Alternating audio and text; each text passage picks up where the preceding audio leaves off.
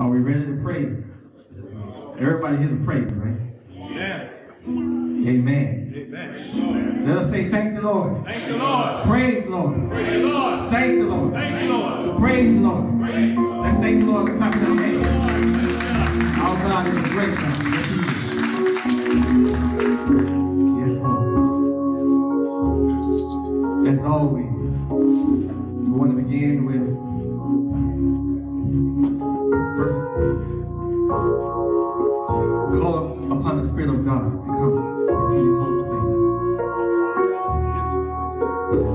the scriptures.